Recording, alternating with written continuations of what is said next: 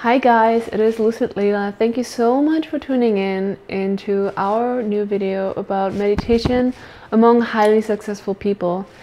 And um, this was taken out, or this piece of information, I got it from Tim Ferriss, who interviewed a bunch of billionaires, about 200 of them, and summarized it in his book, The Tools of the Titans. And he looked for patterns like what do these people do that makes them highly successful? And although there was always, when there was a pattern, he definitely acknowledged that there was always someone who did something different. But the majority of all those people, interestingly, they all reported that they had some kind of meditation practice. Now, it doesn't matter what kind of meditation you do, if it be if it be like a Kundalini meditation or you know a sitting meditation or tai chi or a mantra meditation. Um, some people like to just listen to the same song over and over again on repeat. But um, essentially the fact that they give themselves a certain time of the day just dedicated to mindfulness awareness and calming down your mind that's what they attributed a lot of success um, to, especially very successful hedge fund managers who manage, you know, billions and billions of dollars in their funds. They actually gave, you know, all the credit to the meditation that they practice. So that is something very, very interesting for me.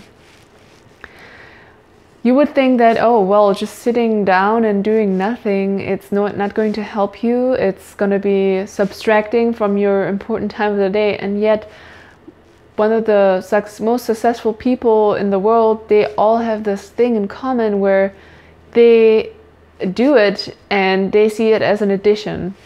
And it kind of makes sense if you think about it. If you're going 100%, you know, throughout the whole day and you're working so hard, your brain is constantly, you know, thinking, if you don't give it a break to slow down and to rest, you're not going to be able to make good decisions because your brain is going to be burned out.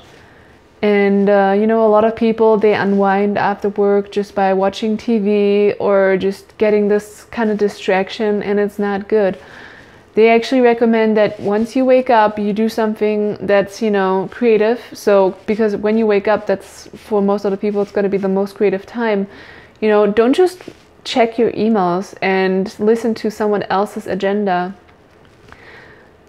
checking your emails will put your mind onto oh i have to do this for that person this for that person and it completely takes out of that creative zone. So create those rituals in your life that make you creative efficient and productive and happy you know by being less reactive by designing a day that works for you which is for example waking up and taking a walk or waking up and meditating or waking up and you know playing with your kids that is a thing that all those successful people have in common. And in addition to that, once you go to bed, you know, don't waste your time with, you know, social media crap that you're not even interested in. And don't let other people put their agenda into your brain. Put it onto something that really fulfills you something creative.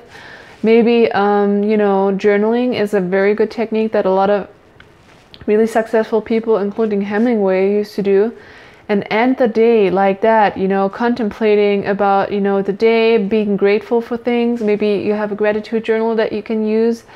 Those are things that are going to put you in that productive, creative mindset and they're going to give you flow throughout the day. And I'm going to tell you, it's going to put you in such a different state. I've tried it for myself and it really makes a difference.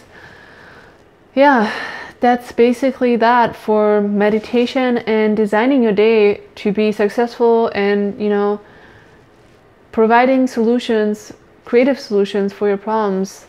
And i guarantee you once you give it a try maybe just 10 days you know med- maybe meditate just 5 to 10 minutes a day.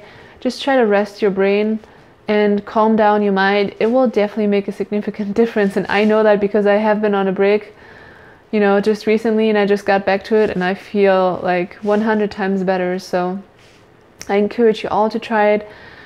That's it for today. Thank you so much for watching. Please don't forget to subscribe and leave me a comment what you think about this video and I'll see you next week. Bye.